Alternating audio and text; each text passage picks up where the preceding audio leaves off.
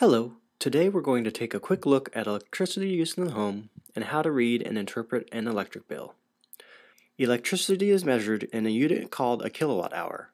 One kilowatt hour will run a 100 watt light bulb for 10 hours or a 1000 watt hair dryer for 1 hour. Other things that use electricity in the home are lighting and household appliances like refrigerators, dishwashers, TVs and audio appliances, and computers. Your electricity bill is based on the number of kilowatt hours you use each month.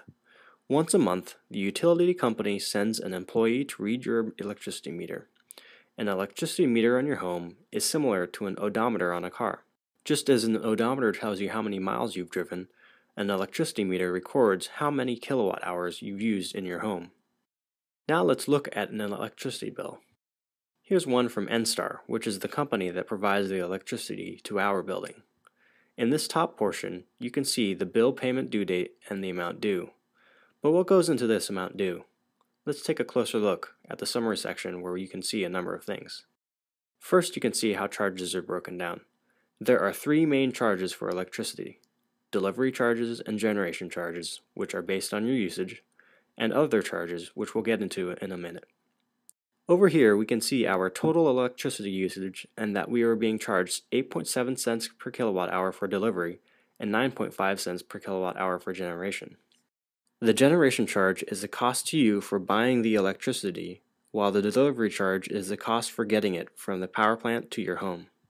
The bill also includes some data that shows how your usage in the most recent month compares to the last month and the average month from the previous year. Visually, we can see this comparison in the graph and can see how October of this year compares to October of last year, which is about the same.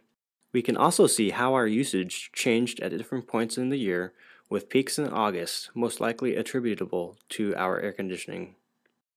The second page of the bill contains the most information, but this is essentially the same information in a more detailed format.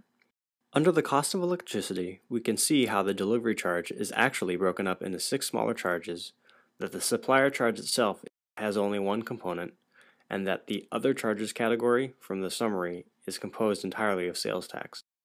Now that you know and understand how to interpret your electricity bill, you can see how your behavior can impact how much electricity you use.